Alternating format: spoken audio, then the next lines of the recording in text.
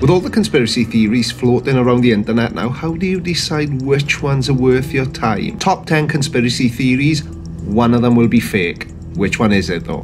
The JFK assassination, the 9 11 cover up, Paul McCartney is dead, Donald Trump is a cyborg, secret societies that control the world, the moon landings were fake, the reptilian elite, the flat earth, chemtrails, and of course the mud flood. And as ridiculous as some of those sounded, only one of them is a fake conspiracy. But which one? And if you want to see YouTube's original sardonic surveyor of social stupidity making fun of some of the people that believe in these conspiracy theories, except for the fake one obviously, then hit subscribe.